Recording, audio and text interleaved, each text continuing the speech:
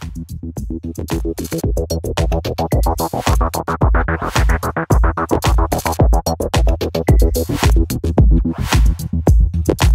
to episode 11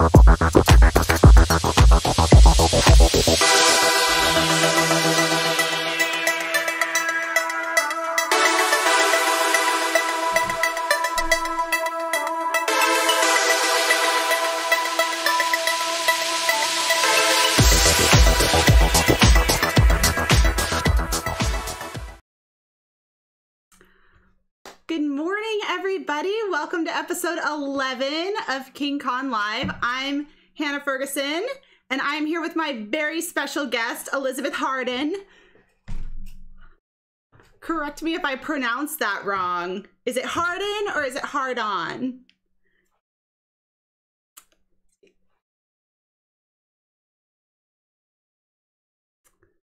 With the pronunciation.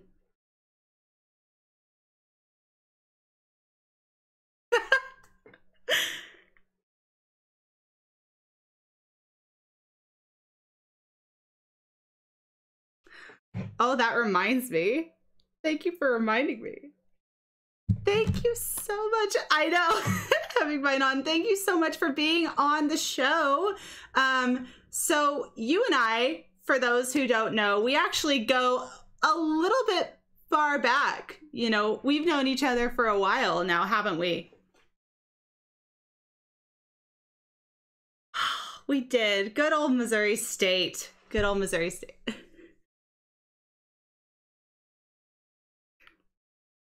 Yes. yes. Yeah, no, I I finished. I got my got my degree, got my BFA. Yes. Yes, please. Oh.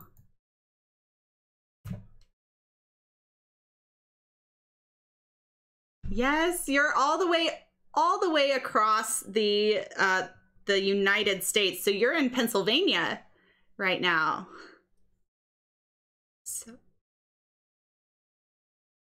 Why? Uh, what have you been doing out in Pennsylvania?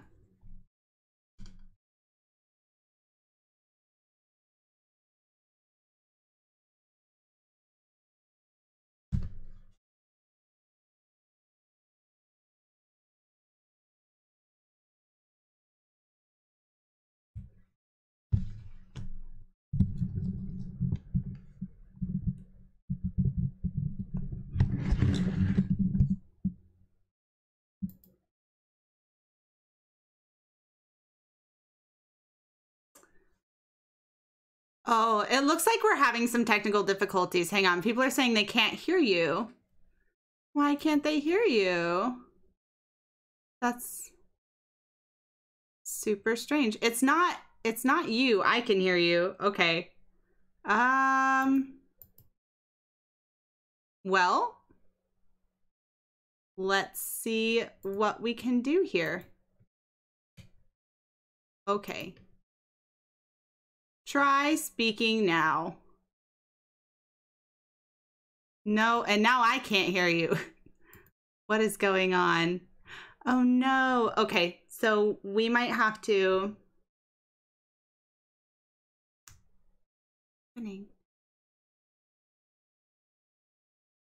I don't.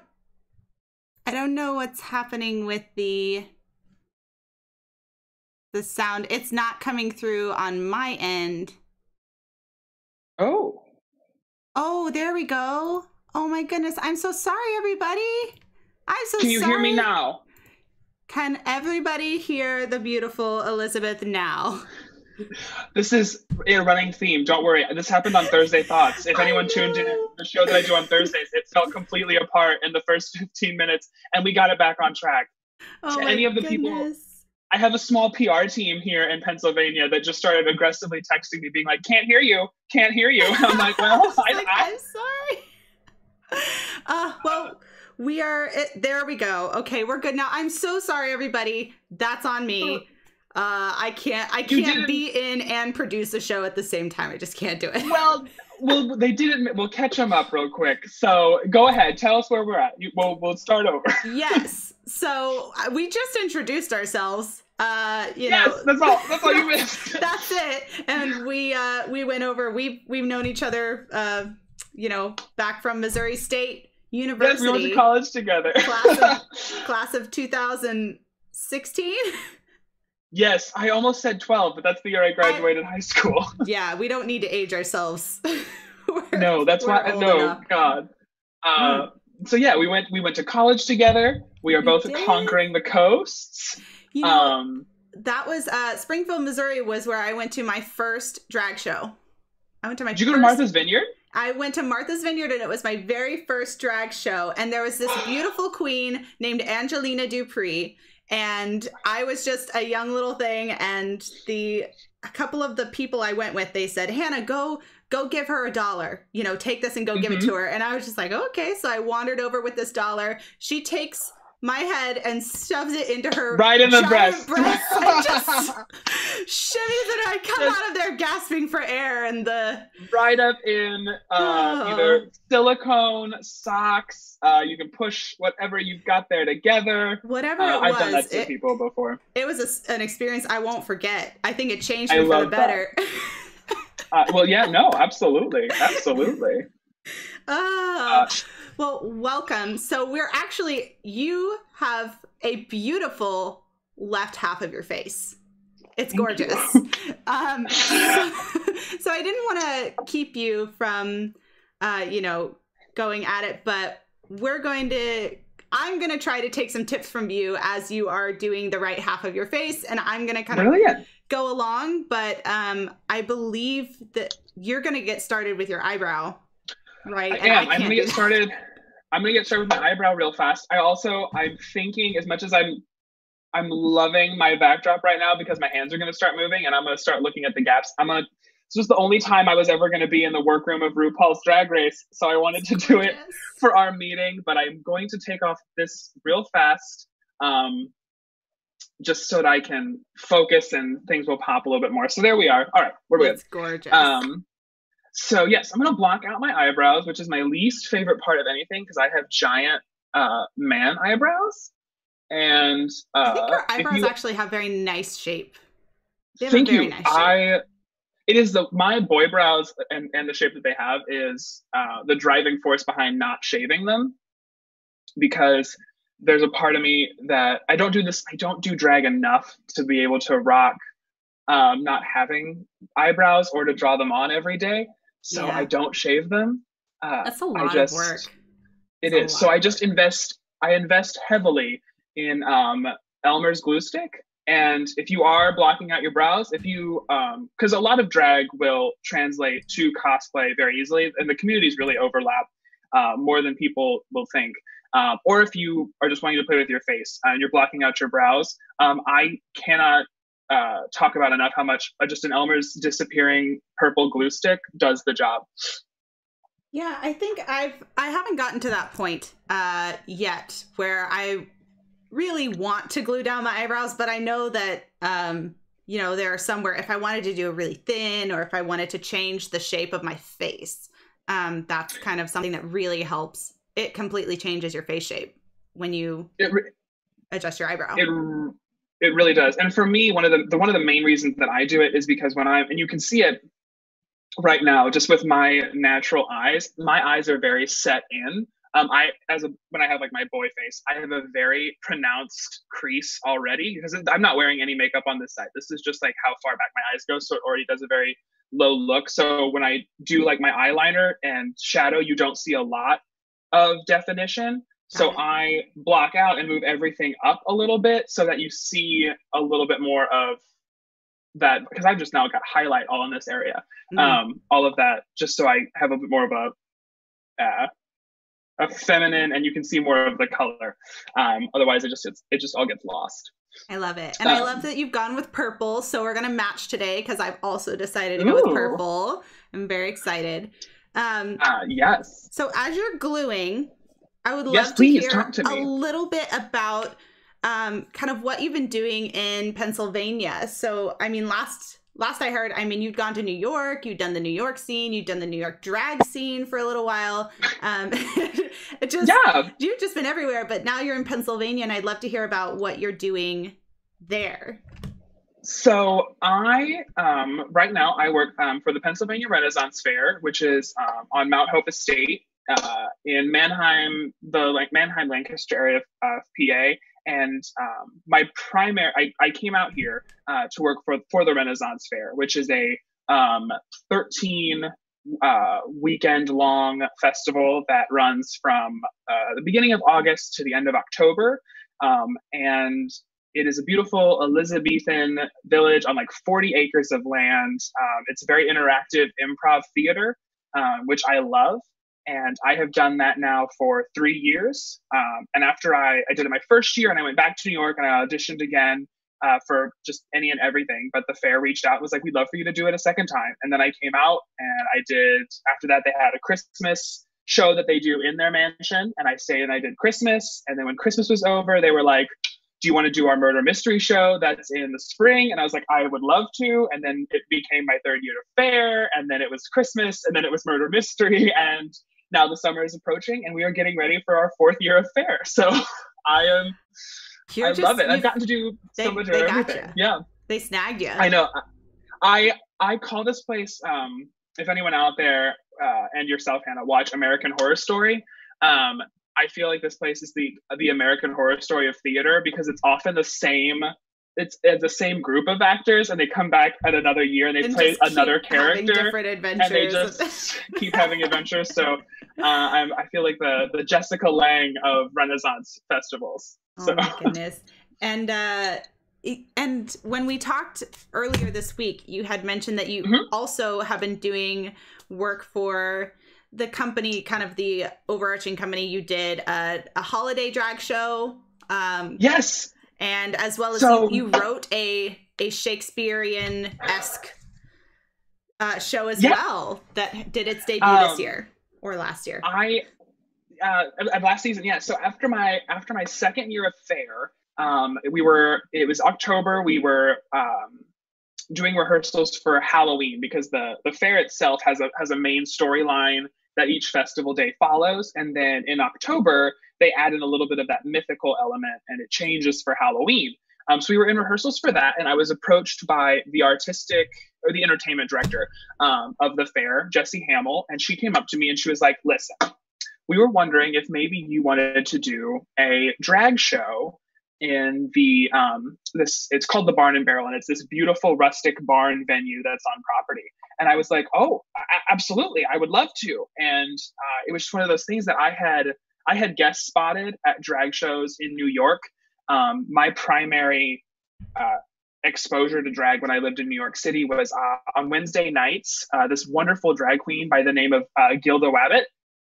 Uh, did a like sort of like open mic drag night where drag queens could come out and if they had a couple of songs they could perform and they could get their tips they could have fun and then they you know call it a night. And so it was she was it was her show and uh, the dj and this her like partner in crime uh, aria derci um, were super wonderful and welcoming to me. So i had done a lot of guest spots but i had never had my own show. And so i did um, my first ho ho ho for the holidays, and I was very blessed to be asked to do it a second time. We did it last year, and it only got bigger and it got better. And then um, the owner and Jesse reached out to me after the success of that, and they were like, "Well, do we think that Alex could do a drag show for the fair?" And uh, you know, it seemed like a daunting task at first. I apologize. I'm going to do another layer of glue. Um, it seemed like a daunting task at first, but um, drag and Elizabethan England really go hand in hand when we think about Shakespeare and theater and how women were not on the stage. So I wrote a 45 minute um, show called um, Taming of the Shrews, uh, and then like semicolon Shakespeare's Drag Race. And it's all about uh, Shakespeare's premier female illusionist, the Lady Bess Intentions, um, trying to find Shakespeare's next drag superstar. So it plays off of the archetypes of Will and Grace. It makes loving fun at RuPaul's Drag Race. Please don't sue me, World of Wonder. Um, and it's a lot of fun. It's a lot of fun. Oh, so. man. And I was just, you know, I would love to snag that script for a West Coast debut. So I I will Listen. whatever whatever you want to charge. I will. I will I- put it on listen, out here. Oh, we can definitely talk about that. We, I'm we so are- we are excited good times. I'm gonna do if I can't one see more it, layer. I'll produce it. Yeah. So how many layers of uh, glue do you tend to do? So anywhere between four to five, depending on my environmental circumstances. Um, like it's a relatively cool day, and I have a little Kenmore fan on me right now, so this is drying fairly well. And I don't. What I just did is I like I felt over it to kind of feel if I if I can feel any ridges. Mhm. Um, and I'm not feeling anything, so I think I'm gonna end with here. What I am gonna do real fast is I'm gonna I've got a little cup of water here, um, and I'm just gonna get my finger a little damp, uh, and I'm gonna run over the brow just to smooth out anything because there's nothing more frustrating when you have those grooves and you go to start painting later, um, like your brush getting caught in stuff or um, Or you've got like a hard line. People can see where you Yeah, your you've brow. got a- you've got you a hard like, line, Feather something it like- down. Yeah, exactly. Because like sometimes you'll hear like I don't know if anyone's ever heard the term like you look like you kind of got like oatmeal up there. It gets a little oatmealy if you are like doing the powder and all of the painting, and that glue starts to kind of uh, chunk up a little bit. It does look like you've just got like oatmeal under your eyebrow. So That's amazing. uh, I try to smooth it down. Now I I want to say this to anyone watching, um, and I told you this before we started. I have there is no right or wrong way to do makeup. It is whatever works best for you. Anyone, only thing anyone ever can do is really give you tips. And if Mm. you like it, great, take it and make it your own. And if you hate it, you never have to do it again. Um, I learned this lesson by doing my eyes because I would uh, I'd watch someone paint their eyes and be like, okay, I love the way they look. That's the way that I have to do it, and it would never work. It would never, it would never work. Um, so because like some girls will, um, they'll do a layer of glue and then they'll do a layer of powder and then they'll do a layer of glue and a layer of powder. And for me, that that's when it starts to get chunky and then I start to get really like nervous and I get scared and I start panicking and then it just then you get sweaty, and and then it's just a whole yeah, mess. and then you get sweaty. Whole mess. Um, so uh, like, and some girls will like, they'll take their eyebrow brush, they'll come through, they'll go up, they'll they'll do the glue this way and then that way. I have literally within the last week found success in just going one direction, doing several layers, and letting it dry. Um, and this is just the longest part because it's a waiting game because you don't want to start anything else Mhm. while this is still, or you don't want to do any more to your eye while this area is still tacky because then you're just going to rip it up. So, well, while we're waiting, yes, uh, let's talk. Can I ask you how Mm-hmm. you first got introduced to drag? So I am, uh, let's see, I'm 26 now. So affectionately, I think you can call drag queens like my age and younger part of the Ru generation, um, who really grew like really grew up watching RuPaul's Drag Race. Mhm. Um, I remember when the first season of RuPaul's Drag Race came out. We're in our 12th now. Um, yeah. and, and it was I watched it on Logo, uh, like which was channel 272 if you had Time Warner Cable, I mean Dish Network, sorry, Dish Network uh, back in the day, and would watch it at night. I was just fascinated by just like the over the topness of it all, and I mean like also like growing up, uh, a lot of my favorite films were Death Becomes Her, Hocus Pocus, um, which already have an innate drag quality about them. Uh, I'm also, if you can tell by the way I paint, I'm a very big fan of Disney villains. So somewhere this has always been a thing.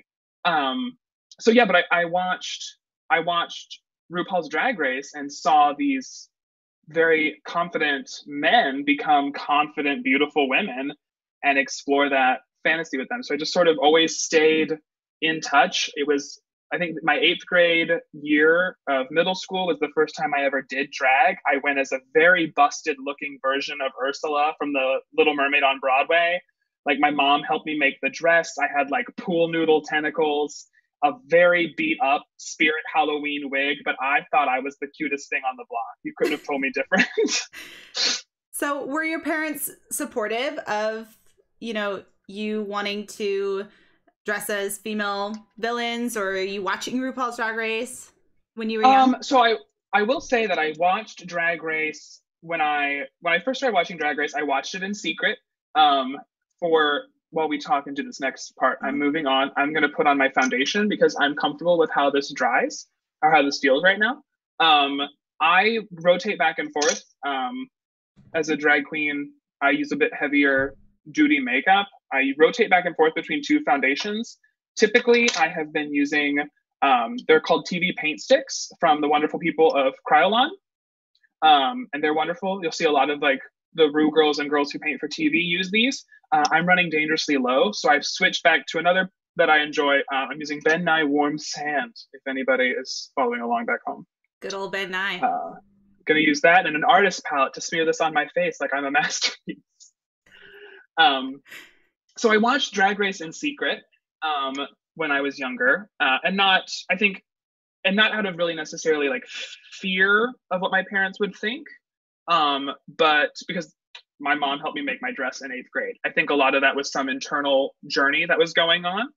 Um, because my parents are absolutely wonderful. Uh, I'm very blessed that that part of my journey has been very uh, easy.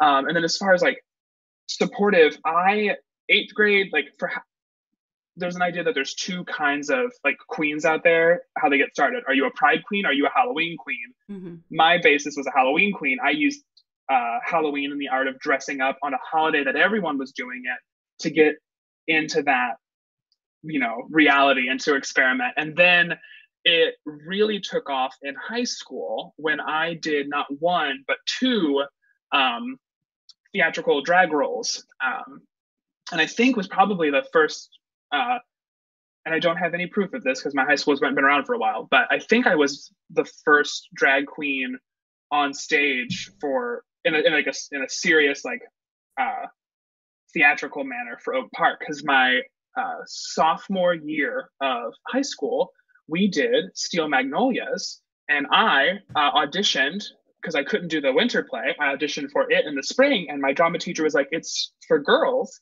And I was like, well, I'm going to audition and I'm going to audition for the role of Clairee and I'm going to get it. And wouldn't you know, Hell I yeah. did it.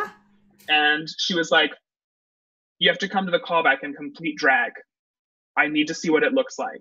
And so I did old age. I went out and got a dress. I got shoes. Um, and I went and I did the callback in drag. And um, yeah, and then I did it. I did the whole run and it was wonderful. That's amazing. That's so great. Yeah, and, I absolutely I mean, loved it. Fantastic that that you I mean you have such support. I mean, I know so you do your own kind of mini show, mini live stream right now called Thursday Thots on Thursdays yes. and mm-hmm. you know I I troll everyone on Facebook so I I watch the Thursday Thots and I know your mom always watches so it's great to just see um and your makeup always looks flawless I don't I hardly, you know, spend time on my makeup when I do these. I'm just putting on eyeshadow with my fingers, not even with brushes. Mm-hmm. Um, but you're it's just so great to see that your your family is so supportive. They really are. that. They really are. Would you say that um or or I guess what would you say is your biggest support system? And I mean, it could be your family or it could be family aside. Uh, what has been your biggest support system in your journey? Um, it has been i'm gonna i'm gonna use the umbrella term it has been my family both biological and my chosen. Um you for me i i find that my success has come by being surrounded by people who lift me and i just who lift me up and who are there for me. And they either offer harsh criticism or they offer support but they're unapologetically themselves. And they support um, me in in everything that I do. Um, and so I've just been I've been very blessed. I have a wonderful nuclear family. I have a wonderful extended family, and then the people that I have run into in my life that I have uh, brought in as chosen family have just been incredible individuals. Um, because you don't you don't have time to um, be around people who bring you down. If there's someone in your life and they're just there bringing you down, and, or they're not supportive or they're not understanding, you don't need you don't need that. We don't have enough time for that. You know, because I I I do enough of of the the harsh self criticism on my own. Uh, I the voice the, the Alex on the inside is constantly judging and critiquing this Alex. I don't need other people doing that for me. Now, I don't need everyone to, to always lift me up and to just um, coddle me, but I don't need I don't need any harsher voice than the one that's inside. Um, so it, it really is my my family and my chosen family. They're the they're the they're they're the reason I am who I am and feel comfortable being so. Magnificent words. You're just so lovely. We've got a lot of people in the chat saying hi to you. Uh, oh, hi everybody. I'm sorry. I'm, I'm, like. No, you're good. so uh, Rev Rev Tommy Abbott says hi, and Hello, uh, you know we've got a lot of people. So we've got Elvis in the um, in the YouTube chat. Although I'm wondering, did our YouTube live stream go down? I'm just gonna double check it real quick because oh I, yeah, we can. We'll see. No worries. While you're checking on that, Okay, I was gonna say while you're checking that, I can explain a couple of things. Yeah, um, I'm gonna go um, ahead and we... put on my my clothing cover. I don't want to get any yes. makeup on my nice dress, so I'm gonna put on my my cat apron. I love. Yes, I am. Uh, for anyone watching at home, I am wearing infinitely more clothes doing this face than I ever do.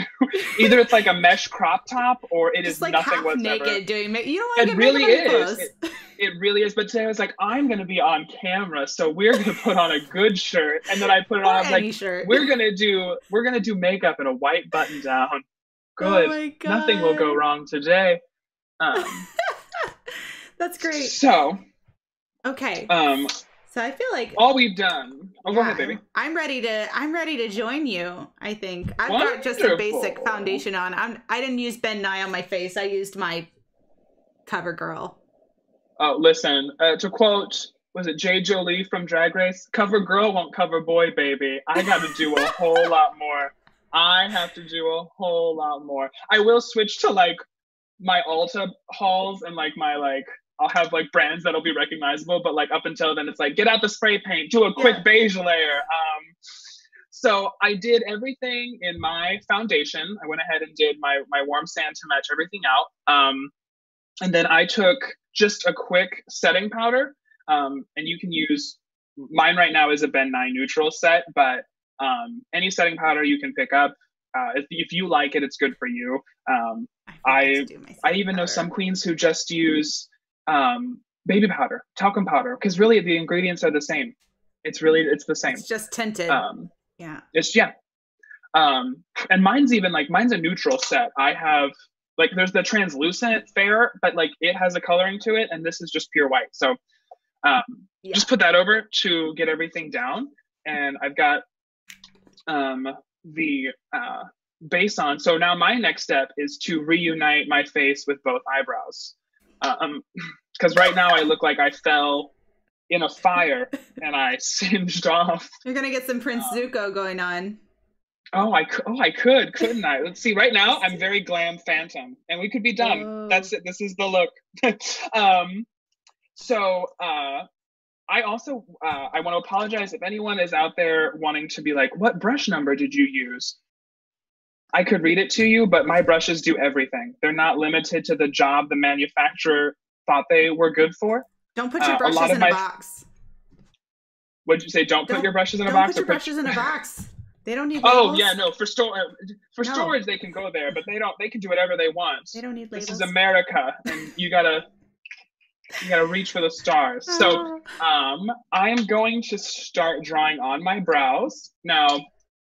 Uh, for now you're you're tinting your brows right you're I doing purple thinking, yeah i was thinking of doing a purple brow and i'm going to be using the purple from my uh ben nye special effects bruise wheel because that is Ooh. the only cream purple that i have and i just that's really on my little palette that's oh, on your tile. I have one. Tile. This was something. This is something that Hannah and I got in uh, college, ladies and gentlemen. Our makeup, makeup teacher, Makeup 101 she said you don't want to work directly from your I don't listen to her, but I haven't used this in forever. I still have it because I love it. Uh, when I'm mixing, I use it. She's like, you don't want to go directly from the from your makeup because you'll whatever you had up here, you're gonna put back in there. Or you'll get I like clean my makeup. Yeah. I'll clean my makeup regularly. I go straight from I'm scooping and I'm smearing. I don't. Well, and I use this awesome. on other people, so that's this is the only this is the that's one fair. that I kind that's of fair. treat with a little bit of care is if I'm using makeup like I'll do some special effects on other people if I'm doing a short film, and I'm not gonna go buy go. new makeup. I'm just using my own.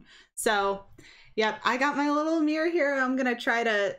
I've never painted my eyebrows before, but I've seen glitter brows. I wish I had some Yes. glitter and I could do that. Um, Glitter brows are very big. Uh, as a as a sometimes bearded drag queen, glitter tends to appear all the time. Um, I will say you have the right idea with if you are wanting to just like color facial hair that you have. Um, for instance, you're not the only one who's colored facial hair right now. If we want to look real fast while you're, I mean, you keep painting. I can, I'll show them. yes. So this is my natural. This is my natural beard. It doesn't really grow in a lot here at the top. It's got a lot of uh, wispy, see-through sections, which is fine. But when I'm doing drag and I'm a bearded queen, I want everything to have definition and drama, and I want it to look very intentional. So I go through and I color in my beard with just, and I use my. Um, it's a Ben Nye it looks cream fantastic. character. Thank you. Yeah, it's just it's very noticeable that like because if I did, th- which would be fine if I just did this. There's nothing wrong with that. But I like, I'm very harsh. Um, if I go to the store right now, someone's gonna know I'm a drag queen. Um, so I'm using that same cream shadow that I mentioned, just a dark uh, coloring to draw my eyebrows in. Now, anybody at home who has never drawn on your eyebrows, this is uh, a process. This is uh, this takes time. This takes practice. This also just uh, takes some self forgiveness. Um, remember, eyebrows are. Uh, girl, they could be cousins. They don't even need to be sisters. Don't try to make them twins. It's never going to happen, and you're going to lose your mind. Um, but also, like, be kind to yourself. It takes a long time to find a brow shape. Well, it took me a long time. Maybe you figured out in the first one to find a brow shape that works for you. Um, Absolutely. am hopeful that this. Oh yeah, no, she's gonna match. When one eye was done an hour ago, it's gonna be funny to see like a if they combine. I so I'll pin out. Yeah, definitely my right side of the face is like this eyebrow and this eyebrow, even when I'm just like Mhm. freezing. Oh, when. I'm a boy, when I'm a boy, they don't match. no. Um, They- I also have one eye that um, is like a little, uh, the lid's a little lower than the other. Um, it runs in my family, so I have to do when I do drag, I have to do a little bit of overcompensating for one side of my face, so I don't because naturally, if I followed the same Lines. core ideas and I followed the same lines, I would draw my face a little higher on one side than I would the other. Um, so, uh, so with Hannah coloring in her eyebrows right now, she's going through with a base color um, and putting that in. That will add a little bit of tint. One thing that I would encourage, if you have the ability, if you have a powder, a color Mhm. powder that matches, That's what I was um, go through afterward and put that over there and it's going to do it's going to do two things it's going to act as a setting powder um, and then the other thing it's going to do is it's also going to add a little bit more color. Um, that's just going to help you in the long run. Um, now if you're drawing on your eyebrows um, when i pulled back a second ago you saw it more. I've been coloring them in but i do like an open sort of outline like a coloring book. Um, I draw the shape and then I go through and fill in. Um, I also use the start of my natural boy eyebrow as the start for my drag eyebrow because spacing is very important. Um, one thing that I did when I first started that I I have pictures to prove and I haven't taken them down because growing is a part of life is I would put my eyebrows far too close together. Um, and I also would like make them really blocky. Um, I'll show you how to get there, but I have a nice ombre effect for this drawn on eyebrow. Uh, and it starts with looking like this. So once you've drawn and you're pretty happy with the shape, and I'm very happy with the shape right now, um, you just fill in uh, with color. Start more towards the middle where the color is going to be more solid, and then leave some space um, at the at the end here. And what I do, um, you can use your finger if you want to. I just take the uh, back end of my brush and I go back in and I'm going to pull down to fade out this brown and to pull it through and to get to help start getting that um, ombre effect. Um, and there'll be a litany of powders that will be involved here before too long. I have a Um, feeling my eyebrows the- are so dark, they're not going to show up purple. They're going to show up like freaking black. That's okay. That is okay. black Listen. brows. makeup gosh. is uh makeup is painting. You're the artist, and if you like it, then you like it and you Oh, own no it, and it's your that. look. Oh, Maybe okay. Well, if you hate it, then If I, hey, this is this is not something I need to go out in tomorrow. This is I am starting my drag journey today. I know. I'm so proud of you. So Alex, would Um, I be considered a fake queen? Would I No, Would I no, get- no, no, no. would I get flack would for going out in drag? No, not at all. Actually, um, That's something I've always been curious lot. about. no, there are a lot of uh, of women of biological or um, identifying um, uh, women who who do who practice the art of drag because it's just celebrating and doing that over the top glamour. Um, I mean, the drag community is ever expanding. Um, there's uh, drag kings and queens. Um, some antiquated terms that were used, and I don't like to use them anymore, was the term bio queen because gender is so expressive and there's so many ways to go. But anybody can do drag. Anybody can do drag, and uh, I encourage anyone to do it. If you've ever wanted to do it, if you uh, are thinking like I want to put a face on and go live my best life and slap on some heels, then you are welcome. Um, that's one thing I want everyone to know is the drag community is very, very accepting. It's very open. Um, and if there's someone that you run into in the community who's not, um, put them in their place.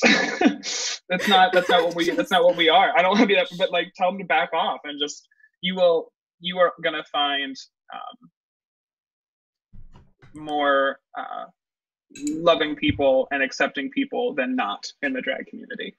I feel like this kind of no. is where the the drag and the cosplay communities cross over because there's there's an incredible amount of acceptance um, Mhm. for and and it's really just there's no rules and the people who try to put rules and limitations on the craft are um you know are are, are really kind of pushed out they're not they're they're Oh, yeah.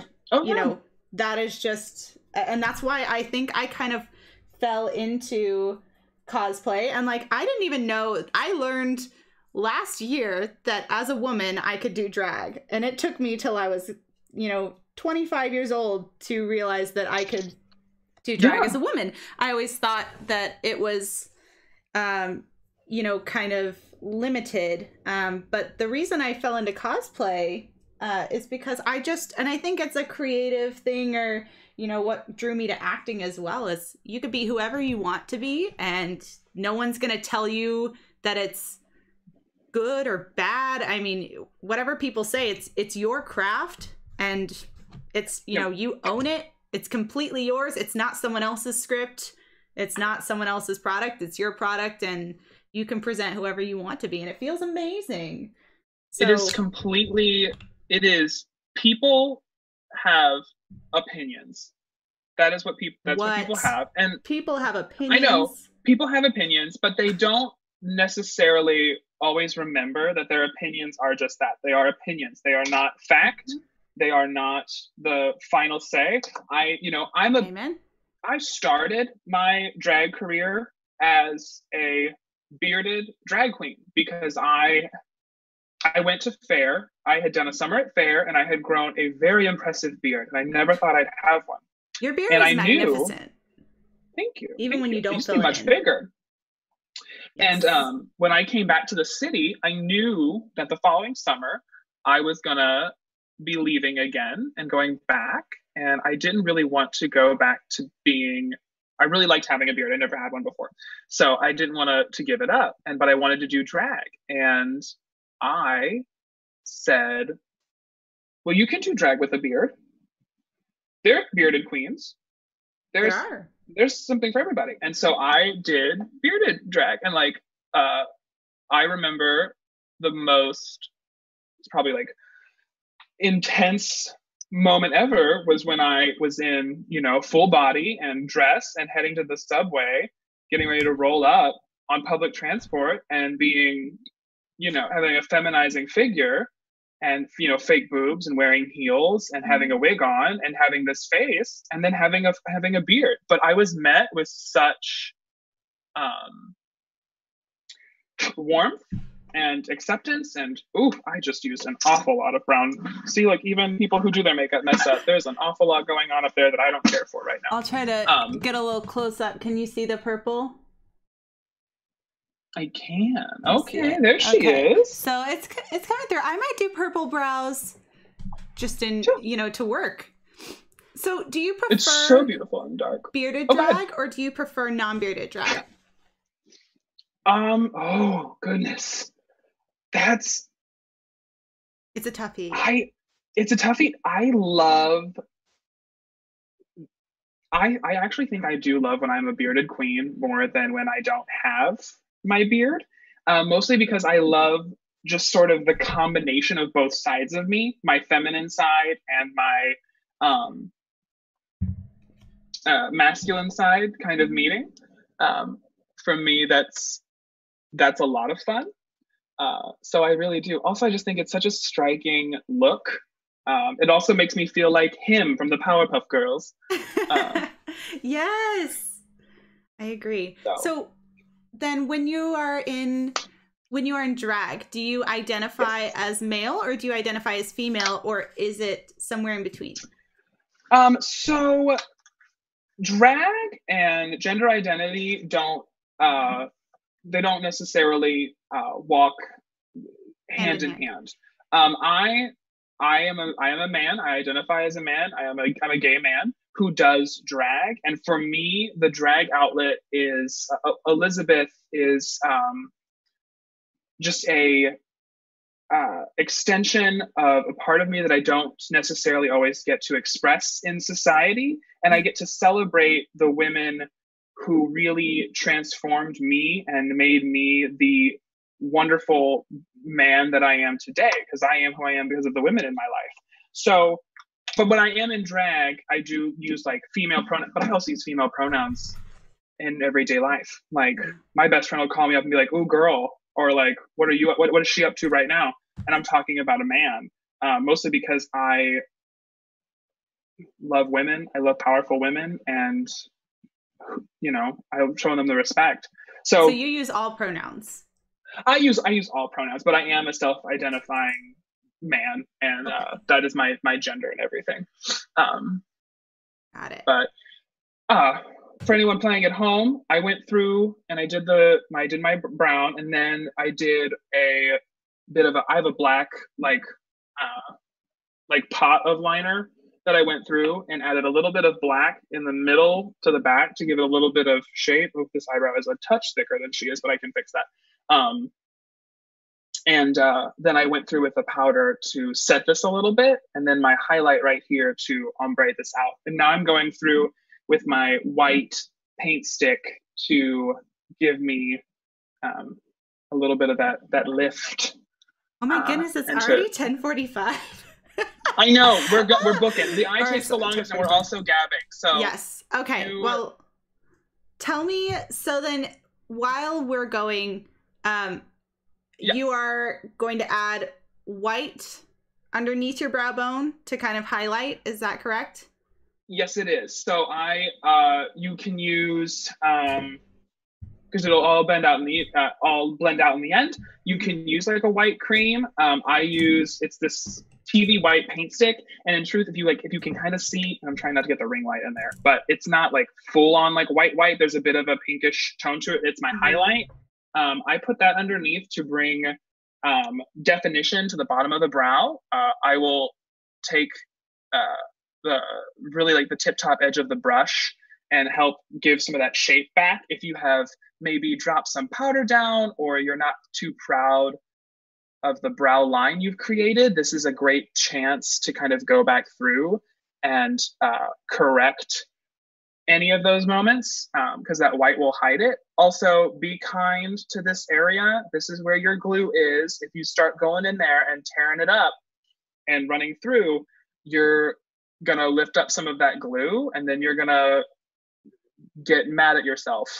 I'm speaking from experience because I'll tear through it and I'll be like, ah, and then it's all ruined, and then I'm late for the oh. club or I'm late for a party and or a gig and I'm running on drag queen time and I start to get down on myself. So take your time, put it on there. Everything you do with makeup can be fixed, it can be redone. It is not the end of the world. Um, so that's what I'm doing. I'll also add a little bit of that highlight to the top. If anyone out there has ever watched Addams Family Values, this is to kind of give you the Anjelica Huston, uh, Morticia Addams filter, just to yes. give you a little bit of definition on top. And um, we're gonna blend. We're gonna put powder on these to bring everything down and to make some subtle uh, subtleness occur because sometimes you look a little done I look clowny right now with my eyebrows. Honey. Oh, oh listen. man. It is no, it's clown realness all the way. Okay.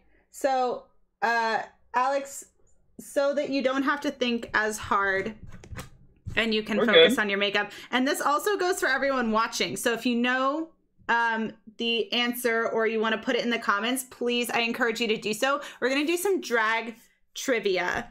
And this Ooh, is actually so and more drag slang trivia because I know that there's a lot of terminology out there that even um you know I I'll like hear someone on RuPaul or you know someone on Pose and mm-hmm. I'm just mm-hmm. like what are they talking about? What does that mean? So I actually okay. did this at my work. I ran a pride um and we did a drag themed uh team meeting on Friday, so it was a blast. Okay, get it. And I gave them some some terminology. So, okay, what is uh fishy? What does fishy mean? Because that's so, something I learned. Fishy, What's a fishy queen?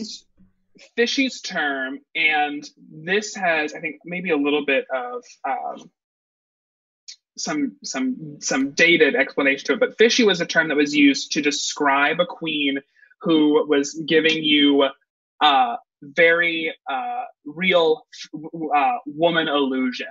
Uh, kind of like the term passing, where it was like you you couldn't be. Uh, people did not know you were a, a man. So because Fishy was alluding to. Uh, I don't know what I can say or can't say on your channel. I don't want to get anyone in trouble. Uh, I um, mean, we're PG thirteen, so just don't drop the f bomb and. okay, great. Um, we'll be so fine. Everyone was, understands it, that we're talking about. A, uh, it was kind of a um a kind of a, a, more vulgar way of like referring to a vagina like oh you're fishy yeah. like that not real idea of like a smell it's very messy so i don't use the term fishy uh but you do hear some things being like i think at one time it was um but i think now in respect to women and to the ever growingness of the community um I just think that like just don't use it. We we we've removed the term a little bit. I truthfully don't even know like what the because like I like when I'm feeling like I'm really turning the look and I feel very much like a woman, I'll be like, oh, I'm giving you like what name the woman realness or you know you normally it's oh she's giving you evil queen realness and that's me feeling very confident in what i have done Okay. Um, but that's where fishy that's where fishy came from. It was being very feminine, being very real. But um, you haven't seen it really referred to um in the scene as of late. Not any not anymore. Not as of okay. late. Because I remember uh, I first heard it on on RuPaul. They they use yes. it all over. But girls are nasty on RuPaul. They're not well, kind, and also also like it. They are that's such a, a hot box of things and also it's ever evolving i think we as a, a, society are also learning that things that we thought were okay mm-hmm. were are no are not okay and they were never okay but now we're we're being more we're vocal about it and just being uh conscientious conscientious yes that's how that's in right terms word. of um, you know just kind of what you say and and the mm-hmm. uh the way you refer to another queen not not yeah. you're saying like not out of respect for the other queen, um, because they might not have an issue, uh, you know, with it, but in respect mm-hmm. to the female everyone. culture, mm-hmm. everyone, yeah, everyone. Okay, so what about um, what is a campy queen then? Oh, camp is like comedy. Um, just uh, I'm trying to think. Camp has a very like specific connotation when it comes to like film. Mm-hmm. Um, oh goodness, I'm trying to think. Uh, but like campy comedy queens. Like you're more of your uh, let's see, I'm trying to uh, like the Lady Bunny is a camp queen. There's a very like over the top grandeur quality about it. There's a lot more um, like shtick. Uh, yeah, like shtick, referential humor. Um, I think I might fall into like the camp comedy queen uh, genre, but camp is usually describing like the the uh, the over the topness quality because some queens will do a little bit more subtle. I have a very drastic look, um, and then some will be more uh, reserved. So like they're going for really um, really smooth blends, really uh, you know like yeah, and it can refer eye. to the it can refer to the makeup styling as well as the overall personality. Um, I really want to know. There's like I, I had to do this for like we were talking about it with like film one day about what is camp. What is also camp? for anyone at home? What is camp? Not like you know camping. Oh, I typed a O instead of a P. What is camo? It's like like if the idea of camp would be like something that regard like talking about like an appealing because it's got like maybe like bad taste or like an i like ironic iconic value it's mm-hmm. Okay know, so maybe i have bad taste no you have great taste love okay so i'm just trying to emulate i have like a reference photo Darling. and i'm trying to emulate what uh, i'm seeing there but really i'm just i'm just using my brushes to kind of blend out this this layering and then i'll probably go back a, with that is a big part of it. Take your brush through and like blend things out. There's this term called baking where you let things set, but then you have to buff buff it out and like soften what you've got going on. You often do look blockier, look like you've segmented your face off, but then remember you're gonna buff it out with your bigger brush and you're gonna do a powder over it, so it is gonna soften everything. Um. While Hannah is also working on her eyes right now, I did after I did my highlight, I my uh, cream, I put a powder over that to bring it down. And now I'm just doing my very big uh, eyeshadow. I mean, eyeshadow, my eyeliner. I use a liquid liner and so I have to. eyeliner first. I do do my eyeliner first. Um, I love the base. I mostly because I don't know why. Really, I don't know why I do it first. I think I like having it as a base point to see what the eye is doing and then I build on top of it. Mm-hmm. Also, if you see on my eye, there's no color in the middle here. So I don't have anything falling into my liner. Mm-hmm. This is just my highlight. I go through and clean it up. And all of my color, I do it on the outside and this new crease that I've drawn for myself. I've taken what would be like my boy normal crease and I've moved it up. So when I have eyelashes on, that gets filled in a little bit um, and so it's moving the cutting that crease and moving it up. Um, oh but you also see at this beautiful angle, you can see how thick my triangles have to be for my liner, just so that you can see my wing. So don't be afraid. More, just like brought to you by Sharpie, and go. don't you don't use a Sharpie. Don't use a Sharpie, but you know what I mean. Mine is um, so bad. I'm just nonsense. I'm looking at this beautiful makeup tutorial of this this woman with this beautifully blended um, eyeshadow, and I'm just like, well, let's uh let's go ahead and and try to do whatever the heck that is and i'm failing miserably so we'll just uh we'll just keep going at it and i'll just try to blend and i'll just use whatever brush i see fit. Dang it. Yes and, and so just, just blend blend on, for your life. Blend for your life. That is the thing. Well it can go away. Makeup can go away and you can do it again. It is not there's no rule that says when you start getting ready whatever you do that's it. You don't get a second chance. Um what i have done i have done my my liner i'm fairly happy with how this is looking i keep like tentatively looking at the clock and being like oh girl we pushing it i know um, we're gonna hustle. we may run a little over we're gonna hustle yeah um so i have now i'm going through with um i use Anastasia Beverly Hills. This is the Alyssa Edward palette, and I'm taking through, it's the black on the color, but it's called Beast. And I'm going through with one of my little, very defined uh, liner brushes, and I am putting powder over my liner because you are very expressive. You have a lot of creases in through this area. So you will be talking, you'll be blinking, and you don't want that liner. If you've ever put on liner and you've like, why did it go away? just put a shadow over it to help it set and to help it stay there. Um, it will do wonders. Everything you do with a cream, really, you should run over with a powder afterward to mm-hmm. help it mm-hmm. stay. Um, it, it changes your life. So I'm just doing a little bit of that um, while we gab. I think and I'm now, still on the base, on the cream base. So I'm trying you're good. to kind of blend that down. Uh, um, and I know, like, this is all stuff that I've just kind of gathered as like, yeah, I know you put white on the mm-hmm. crease of your eye. It'll make it kind of stand out to put white, you know, on that inner crease, etc. Um, but really, most of my makeup tips are just like I saw it on a Pinterest post somewhere, and I'm like, that's good. I'll do that. that is uh, now what you just said, Hannah. I want everyone to hear that. Hannah is looking for something that she loves that resonates with her, and then she is playing around and experimenting that is what you have to do. That's how we learn anything. I think that there's this idea, and I think a little bit of it, I did it to myself. So I'm not even gonna say I think, I'll talk about myself. Growing up, watching Queens on TV and seeing us style, or like when you're on Instagram or anything, I think we as a people, we see what we think is beauty and we try immediately to get there and we beat ourselves up if we're not there.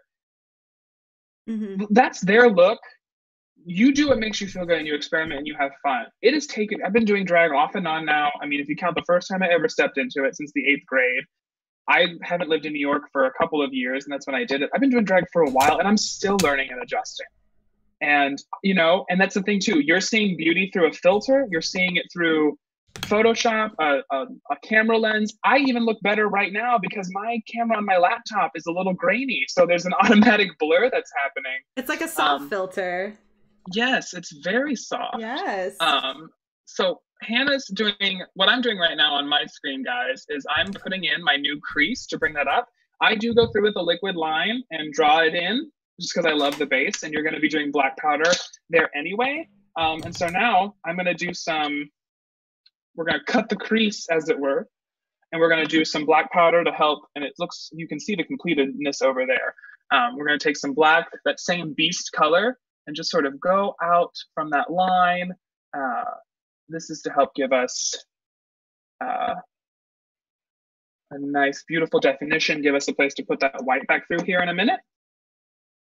Um, so I'll do that. Hannah, what else do you have for me, darling? I, I was just about to ask you, um, what is a drag mother?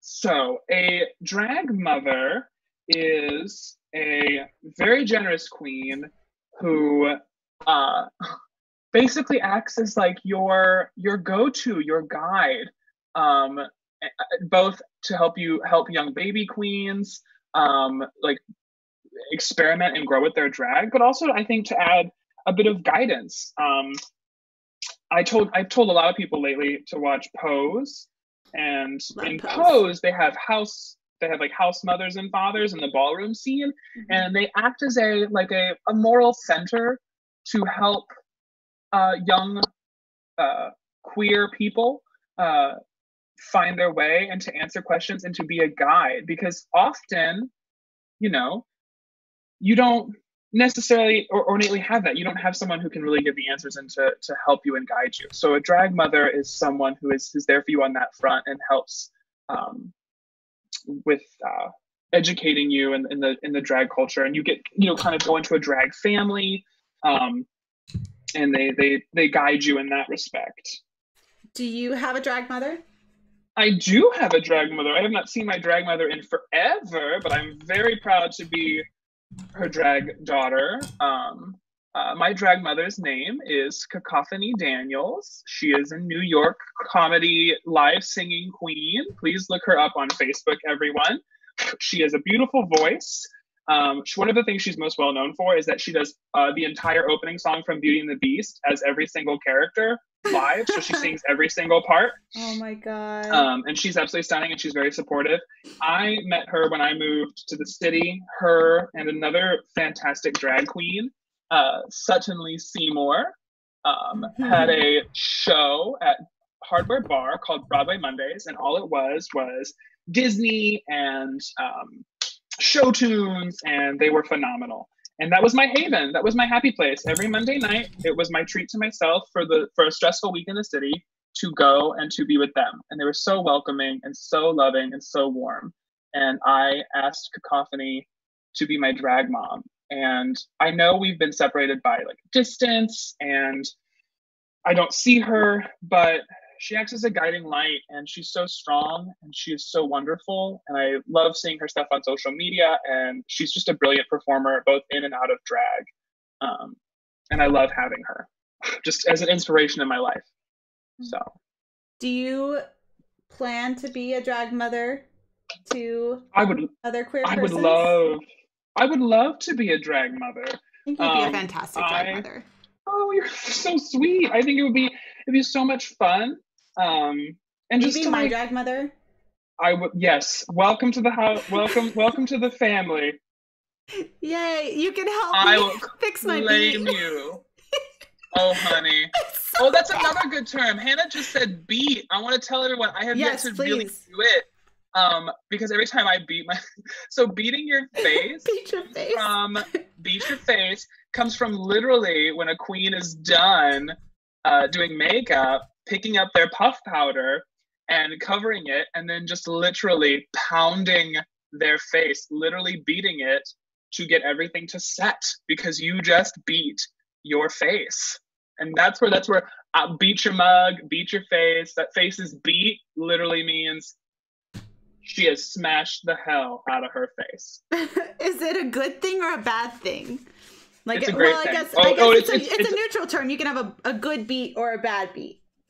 Yes, you could, but like really, it's used as like, oh, that face is beat. Like it's it's a good thing.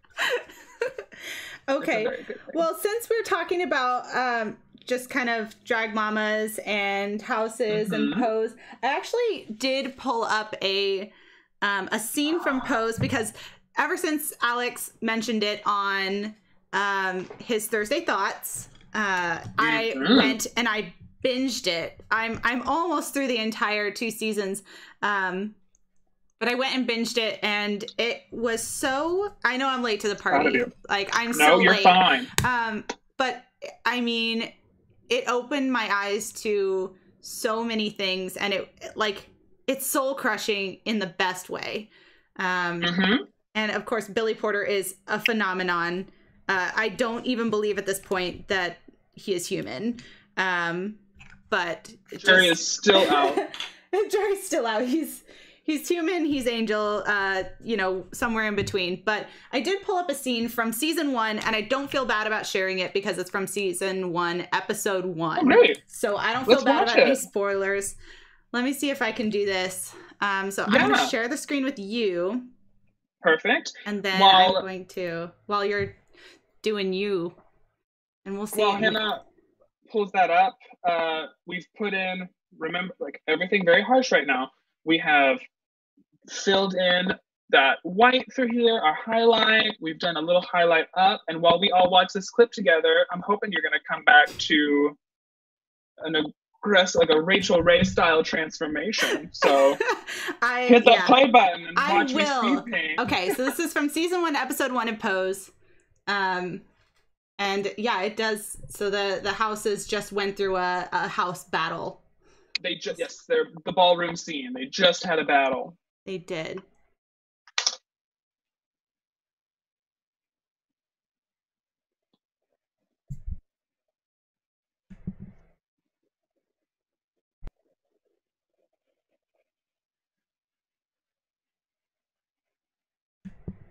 oh my gosh probably not I can hear it, but I know you can hear it. i don't think the audience can hear it oh no. uh, why do i why do i do this to myself Well, girl, it's because I did it to myself the other day. It's fine. hang on let me let me try to try to do it that way i'm so sorry people is it coming through at all for anybody i wonder this is where this is where you get to run into all of the fun things um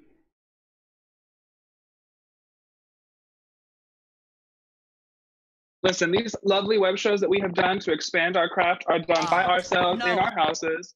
I know. We okay. are good. I think I got it to work now. I was Bless. over eager. We weren't ready. Well, well, well. Look at the sad queens. Disappointed about our scores? Well, you shouldn't be. so gorgeous. as quiet as it's kept, I thought you should have been scored even lower. Yo, yo, wait up. Hold on, hold on. Yo, what I gotta do to join the House of Evangel... You guys' house? Evangelista, House of Evangelista. Like the supermodel little man. We're sunk. That's perfect for me, though. You guys ain't shit yet, but I ain't shit yet neither. What's your name? Papi. Hmm. Lil Papi. You guys got some moves. I wanna learn me some of that stuff. Give me some trophies, too. You living on the streets? Yeah, mostly. But I work at a bodega sometimes, breaking down boxes, so I can get food for everyone, though. Go collect your things and come right back here. The House of Evangelista welcomes any lost soul. Uh-uh. We got rules. No drugs. No Mhm. gentlemen callers. Mm-hmm. And anything you mop belongs to the community. Don't leave. Uh-huh. I'll be back in five minutes. You want a reason to keep going on after tonight? There go, right there. Houses are homes to all the little boys and girls who never had one. And they keep coming every day, just as sure as the sun rises. Pull up. Work harder. Triumph. If not today, maybe tomorrow. Now, Daddy needs a drink.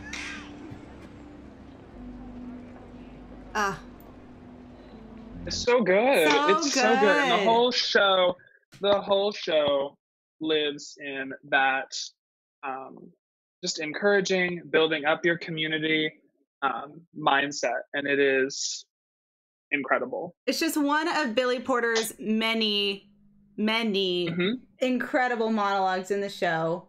So And and in truth, also like if you ever are needing it, Billy Porter, outside of being Pray Tell, is just also a human being that is full of those types of moments. mhm. um, and his just statements on the red carpet or interviews or just who he is that is a hundred percent uh, billy porter I love that too. And I think he won an award for that performance as well, I believe. So i believe so so yeah, I mean it really and it it opened up my um just my perspective because I I mean I was born hmm in the 90s. So I mean, I think the like my family definitely didn't even talk about it wasn't as scary of a thing like AIDS wasn't AIDS wasn't something that was in like every household conversations anymore. Um when I was growing up, especially as a kid. So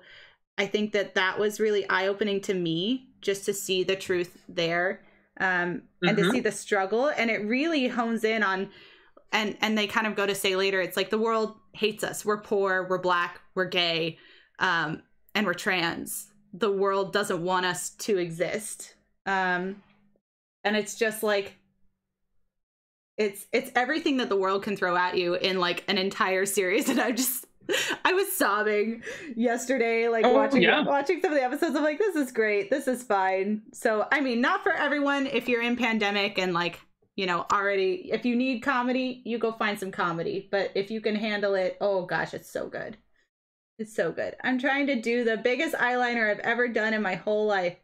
I'll tell you what There you I'm- go. i am really good at doing like natural doesn't look like i'm wearing makeup makeup this is really difficult Well, for me i don't know what you mean i'm not wearing a stitch of makeup right now There is gosh you're such a natural beauty you are such a natural beauty so- um, anybody tuning in uh, after coming back from that clip, I will go over quickly what I have done while you've been away. So I went through and I put highlight. I'm you have to you can really really see what I've been doing right here. So I've got my highlight running through, going straight up, um, to help lift my bone structure, pull that light where I want the light, keep it from where I don't. I've got my shadow running through here, and then I do another layer of highlight right underneath to really pull out my cheeks and really manipulate and give an illusion to my bone structure. I have also, but mostly now because I'm bald, this is brand new for me. I'm doing some shadow up in here because I do put and I do make up the top of my head. It helps when I put my wig on because there's no wig line. And I'm buffing out some of that highlight. Uh, and I mean, sorry, my shadow there. I'm also going to buff out and soften everything that I have done over here. Um, I think I would traditionally let this bake a little bit longer. Baking is putting things on and then letting it sit and then buffing it out. But I want to attempt to see if I can make my face look symmetrical um, here in a second. Uh, we've also added a bottom liner. Now, if you notice what I do, and I think I love it on my liner, um, I leave a little bit of a gap because I like to do a little bit of white right there to open, widen my eyes a little bit. I also pull my liner past the corner of my eye. So I stopped, originally I stopped right here at my tear duct. I'm going to come down and I'm just going to extend it ever so slightly. Um, I'm so ungodly close to everybody. I'm so sorry. Just to give my give a bit more of that slant, a little bit more power, and you can really see it when I squint. Um, really brings that through. Um, I'm gonna fill this in. Yeah, I'm filling A little I was gonna bit. try to try to do that, elongate the inner corner of my eye. One of them looks Mhm. okay, the other one looks like a, a bird claw. I'll let you guys decide which one. so not Listen, that sentiment I have I know that sentiment all too well. You're like, oh my god, this one, this I did it once and it looked great. I did it This again and eye it looks bad. amazing. Right eye looks great. Left eye looks awful. And I only have like just the worst. I have those um those liquid eyeliner pens. The one where Uh-huh. it's like a little brush, like a it's like halfway liquid liner but also not and it is being streaky as all get out this morning. So we'll see. Um, and we'll then see I do- happens. Yeah. I do a little bit of white underneath just to pop that out, just give you a little bit of drama. But again, I am not painting for everyday realism. I am painting as the good Disney villain that I am. Um, oh, we're actually we're coming. Okay, You're coming All right. along. No, you're looking great. We're, we're we're trying. We're trying. We're um. I look like we're gonna do real quick. dang raccoon. I think I got too heavy. I got really No. heavy right That's here. okay. You can buff it out. There's Yeah. no. I usually do a lot of blending with my powder. fingers. There you go. There you go. I'm gonna put some white powder for a little bit of my added drama where I've put my highlight before. Um, down here just to clean everything up and to really make things pop. Um, also, I'm just gonna show you like ugly side of drag right in through here. Never looks pretty. Don't worry about it because your face is like this. No one ever looking at you like this. They're looking at you like this. And I got ugly on camera and it's on YouTube now, so we're all ugly together. Um, So Alex, I'm is gonna do. Oh, go ahead with your. No, no, you talk. You're good, baby. I'm, I'm gonna, I can pick it up and go and, and talk to you, and then I'll explain. What's up? Okay. So is this the first time? I believe you said this is the first time you've ever done your makeup on camera. Like you've never done your makeup for anyone watching. This is the first time I've done my makeup on camera. Uh, this is the first. Yes, no one has ever seen me beat my face, and no one's ever seen me paint before because I, um, I hold myself to impossible standards, like every human being, and I get very nervous. Perfectly normal. and um, I never. First of all, it never goes this well. I want everyone to know right now. Normally, I have to redo an eye at some point. The fact that this eye is still glued down means that things are happening really right, and I think it's because I'm doing this for Hannah. I'm doing it for a friend and a classmate. Um, but the pressure's um, the no, pressure's on. never- You always do your best work when the pressure's on, I suppose. Oh, God, yeah, you do. Because sometimes when you have too much time, things get out of control. Um, but no, I, yeah, I've never done my face for people before. Normally, I'm like, I do makeup, and I give like tips like off the side. I'm like, oh, this is what you should do, and then I never. You never I'm doing it with do them. it. Wow. Um, well, I am so. So, this is a very big day. Oh no, thank you. I mean, you're having me on here and inviting me to do this during Pride Month. This has been an absolute treat. Mhm. Um, and I very much thank you.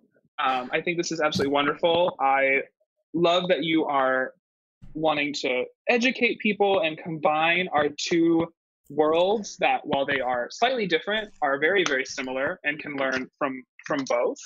I Um. I'm just happy to be here. What a fun, like, what a fun day. this is this has been so fun. So, I mean, obviously, this Pride Month has been has been very different, and of course, I'm sure very difficult for a lot of people who, you know, this might have been their first Pride that they get to celebrate, or their first Pride, um, you know, out uh, that they that they would have gotten to celebrate. And I know that um, it's been really hard on a lot of people. So, I guess just how have you celebrated Pride during quarantine? And I mean, of course, you celebrate Pride every day. You know, as a gay man, you get to celebrate Pride whenever you want. But during the month of June, um, Yes. how have you celebrated? What have been some some special things that uh, you've either done for yourself or with other people or for other people to kind of make this Pride Month a little bit easier for everybody?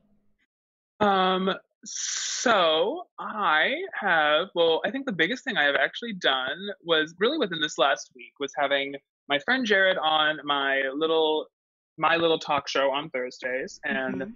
going through, you know, uh, like a little gay history, um, yes. and things of that nature and like talking with people answering questions um, this has been huge doing this uh, this is i love showing this side of me and um, this has been great and talking with you. Um, and i think it's one thing that i've i think been also for pride this year is answering the call that's needed. Um, we touched a little bit on thursday so i won't get it. If you really if you want to take a little bit more of this conversation i would encourage anyone to go look at my Thursday Thots video. The link um, is in the I have- description on the YouTube video below. oh So Thank you, you, can just follow that link right to Um, Alex's page and see his Thursday Thots. but um you know the first pride was a riot it was the the three day events at stonewall um and the thing the thing for me that really has helped me celebrate pride and make me feel like i'm still doing it is is being a voice right now for where we need it and what cause needs me Mhm. um, and that's been I've called senators. Um, I may live in PA. I'm still registered to vote because I'm tra- I'm transient and I travel all the time, so I'm still registered to vote in Missouri, which is a a red state. Well, sometimes I don't know. She can't make up her mind. um, Oh, so Missouri. you know, I call senators and I voice my opinion. I make sure that I vote and stay informed. Um, I've used a lot of quarantine time to inform myself on issues that maybe I didn't know about and educate. Um, you know, I I'm a product of the public education system, and that fails you. You realize as you're older, and the idea that like I, while the black, I'm a very big supporter of the Black Lives Matter movement, um, and uh, I have had to do a lot of learning.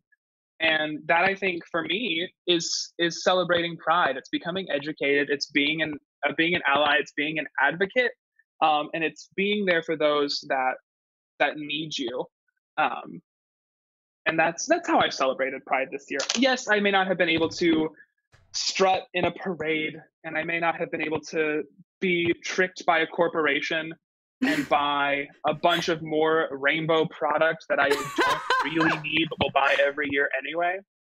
Uh, and that has its own like sadness, but you know what? That's not that's not the important part.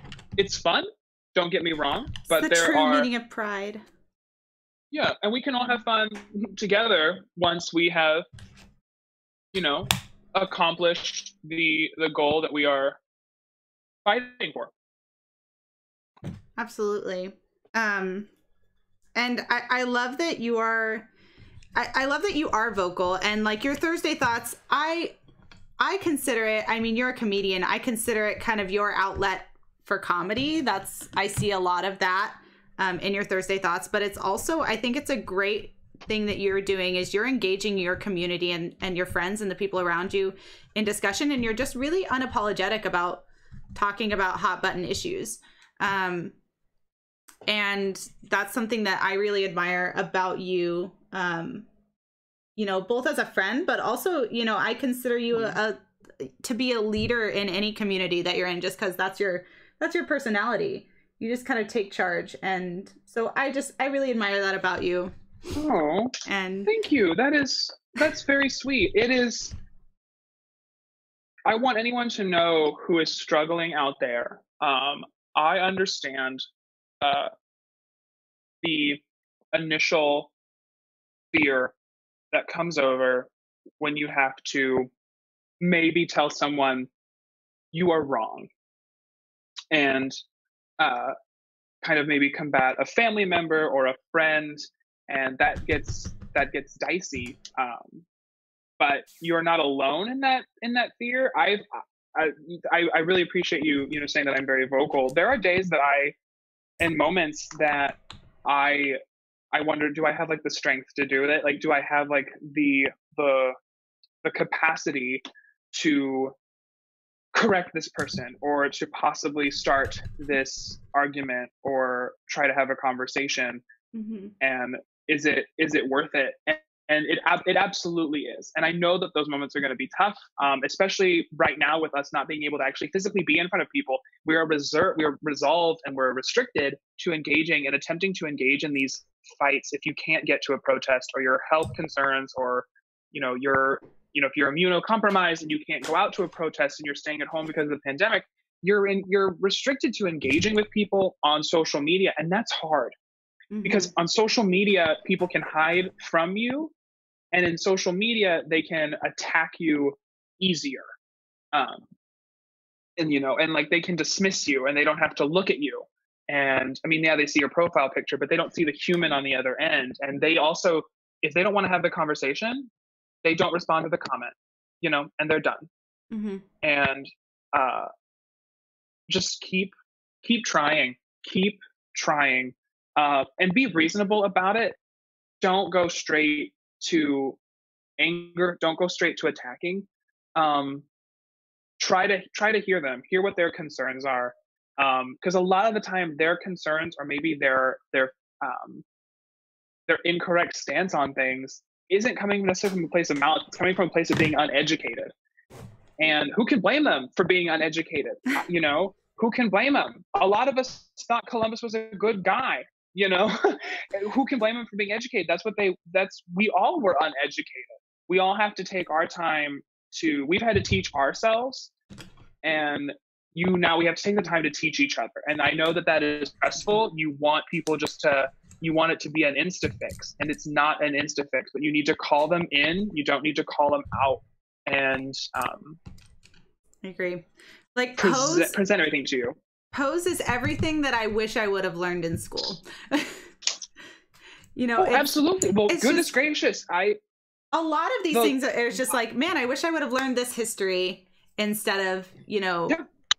the history of of the you know the colonies I, it's just like there's so much. And i mean i was in i was not in the public school system. I was in the private school system which i would think i think sometimes is even more limited uh, in terms of the information that they give away or you know sometimes it's it is very catered information um that was given. And i just i thought that when i finished college i was like i'm an adult now. I've you know i've learned i've been exposed to new things.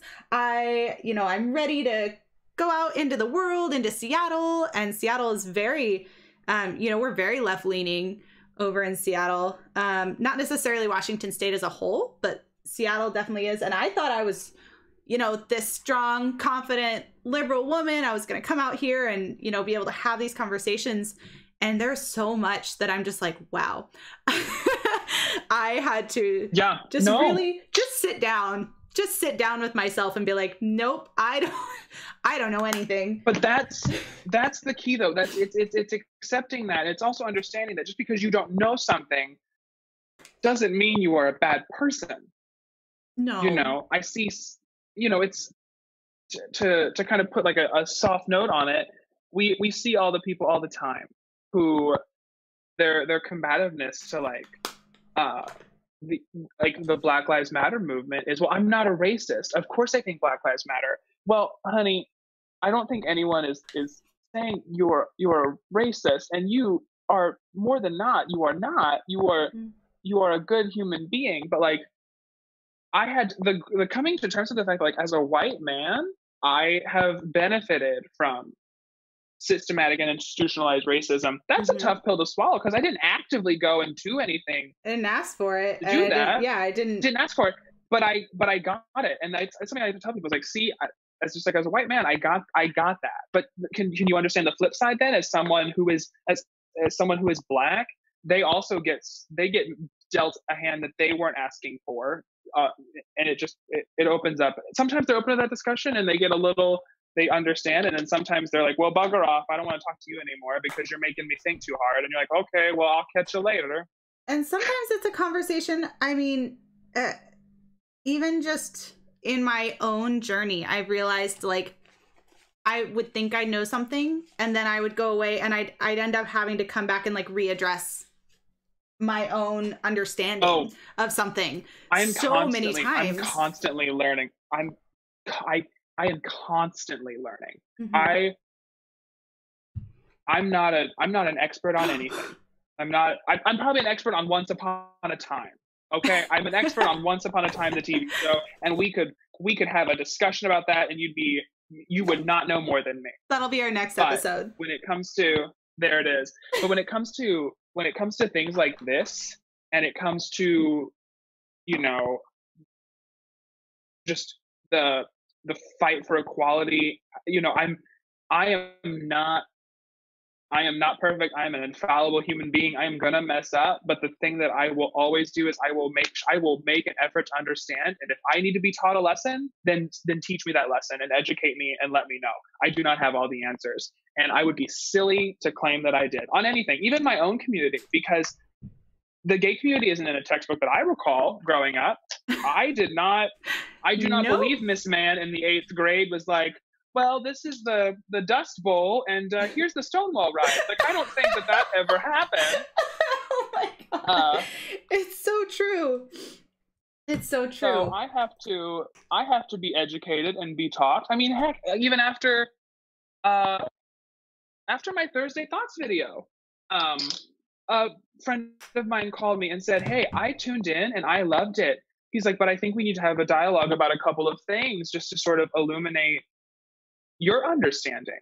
Mhm. um, which was which was great. And you know what? I'll I'll be very honest. There was a moment when someone came up to me and they said, "Hey, that was great, but I think we need to have a talk about this and, and unpack these things a little bit." I my internally I got a little. Scared. I was like, "What is this?" I'm sorry, but at the same time, I was like, "No, take a deep breath. You don't know everything." yeah and they're not they're not calling you they're not calling you out and saying like how dare you they're being kind and saying i'm so proud of you but i also want to give you more so that you can be More. better all the time yeah uh, absolutely so i'm taking a trick so- that that you told me is i didn't have i wanted to try to do a purple lip i'm just gonna be purple all over um okay. And and you said to take some vaseline and some eyeshadow and i'm gonna try to make a lip color. Um yes! we're Oh, gonna I see how it goes. Ooh, see how it that goes is a real thing. If you've got a powder color that you love and you want it just a little bit of vaseline and you can apply it on there. You can also if, if the powder pigment's strong enough you can just put that on your lip. Um, and while hannah's it's doing her lip not. it's not strong But the powder's not strong enough? Is it messing Yeah. up? I don't know. We'll see. It's kind of like a, a muddied purple, but it might work. Let's see. It's very ooh, it's very um illuminated. It's very uh yeah, it's very shiny. I think because of the Vaseline, but we'll we'll work on it. We'll work on it. So, Um, where are you at in your are you almost done? Oh no, we're finished. Gosh, you like just went so fast no, well, I mean, well, it's because I stopped talking and just ran, and there's always some tweaking to be done. But Can really, across the board. I. I can, I can. So there's a lot that's there's a lot that's happened, but I can walk through. So Please do. we, ooh, actually, I'm not quite done. I'm gonna do my bronzer because I like to do a little Yeah. This bronzer is brought to you by CVS. It's uh, Maybelline New York City bronzer. Is it good in quality? Who's to say? But she has a lovely, like, natural feminine scent about her that I like to put on to soften some things up. Um, so yeah, I love I love that one drugstore cosmetic we can't live without. Everything else I buy is super It's like Wet expensive, and I'm like, Wild. yeah, yes, like Wet and Wild or give me that Sally Hansen. Yes. Exactly. Um, so I went through and I did my my highlighting and my shadow, and I buffed all of that out. Um, looking at my beard, I need to adjust a little bit while I talk. Adjust One your side beard. is more than the other. Ooh, this is really, really dark. Um, there we go. So I uh, went through and I buffed everything out. I then also went through and did my um, my blush. I use a blush called Victorian Rose. It's from Ben Nye. Um, I tend to look like I do blush sometimes, like I'm from the 80s, and I do it over where my shadow is, and I pull it up through the highlight uh, and just give me keep going off of those angles, leaving a little bit of that highlight still visible, just because you're highlighting bone structure. You don't want to undo the work you've done. Um, I also do blush through uh, the top of my head through here, just to kind of leave the highlighting to the main part of my, my the main part of my face, like that T zone area around my eyes, and then down my nose and through there, and give this a bit of a shape. Um, and then I went. Uh, I was working on my lips. I have a couple of steps to lips. You don't need this many, but I have like a a signature color style that I do. My base is this lovely. It's Anastasia Beverly Hills. Um, all of my products, by the way, my eyes, my contour palette, and my lips are Anastasia Beverly Hills. You can get that at Ulta. You can get it at Sephora. Um, you can get it at TJ Maxx if you look hard enough. Um, also, if you go to an Ulta, don't be afraid to have someone help you. They are there. They are experts. Uh, they will be able to guide you. Um, so I put a layer of my Anastasia Beverly Hills uh, Seraphine on, and then I, because when I have my beard, um, my lips can get a little lost in the facial hair a little bit. Um, so, and I do this even when I'm I, I'm beardless. I take um, like a black eyeliner, and I will line like the corners of my mouth. And so when you start doing the whole like lipstick face, um, it just creates like a really like lovely like dark shadow, and I don't know, it just makes the lips look big and full. Because like I'm still, I've only lined in my natural lip area. I haven't. When I don't have a beard, I'll line a little bit outside, but it just makes them look really plump and commanding. Um, I learned that trick on a 2008 YouTube video from The Little Mermaid behind the scenes. Sherie Rene Scott, who played Ursula, that's how they did her lips. And she was like, the makeup artist was like, it makes them look fuller. You don't have to get like any filler. That's how you make them look bigger. And I was like, I love that. And so I have been doing that for 12 years and That's I will never change. Okay, so I went in with the Vaseline, and then I I did kind of a darker purple, and then went in with a little bit more shimmery purple, kind of above. And Just come in. Okay, there she is. Look at They her. look they look almost Oh, black. love. I mean, here they're like a Purple- deep, purple they're like a go. deep purple, but in the, they look black in the, in the camera. But Um, I don't know. We'll see. I don't have So any I- like brighter purple. That's all right. Um, listen, we're all experimenting. Also, I just want to show um, everyone some things that can happen when you paint makeup. So uh, we were talking earlier about how my eyes are two different sizes, uh, or there's a little bit of a difference. So when I'm like this and I'm being very wide-eyed and expressive, which is how I usually am when I'm painting, um, everything looks very one way. When I relax and I'm looking straight at you, you can see that this eye's curve is a bit more normal and this goes down a little bit.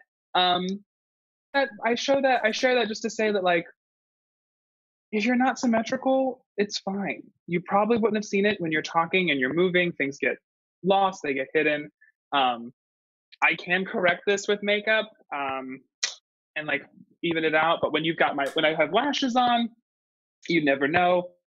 You put a bang down, hang it low. But um, and then I put Oh. um, so did my lips. I shaded in my beard, which majority of you don't have to worry about. But I do a cream base color to like mimic the hair, and then I do a shadow through it just to really fill it in. Uh, and then uh, when it came for coloring, I do this lovely. Uh, and a lot of queens do it. I think it looks super sexy. Of doing the coloring underneath and then doing it above that cut crease and leaving all of this open uh, and not getting. I don't do a lot of color in this area. I'll maybe if I'm doing a color, I'll do like a shimmer or like a glitter. Um, but I like doing the color on the outside of the crease and then doing the the bottom part here. Oh, Shanna's seen something. Oh, has something entered the arena? Uh, I've just been. Uh, I I realized the comments were kind of on a delay, but um, you know, everyone, um, you know, everyone's just telling you you look great. Stop. Thank you. Yes. Um, So, and um, do you do lashes when? Um, I mean, every time. I. Uh, so. And I do you put them? Do you put your mascara on before or after, or before and after? Because I'm still There's kind of a- stuck a- there. when do you put on your lashes? lashes? I would traditionally put them on at the very end, mostly because lashes piss me off. I hate them so much. Because I'm still, I'm still some. not good with adding on, with adding my falsies. Now I don't have any right now. I was looking through my makeup and I was cleaning everything up for this, and I just they were crunchy and they were small. That's the other problem is that with what if I if I had to go to like a CVS and I pick up like a- just a pack of like Kiss eyelashes and it's a five pack, I have Mhm. to stack all of them on top of each other, and they don't. They're not really any longer than my just to get them uh, large boy enough. lashes. They, yeah, they're just they're not really lar- larger than my boy lashes. They may be more they make everything look more full, but they don't really get up. So I have to do like theatrical grade, like really big, and do the stacking.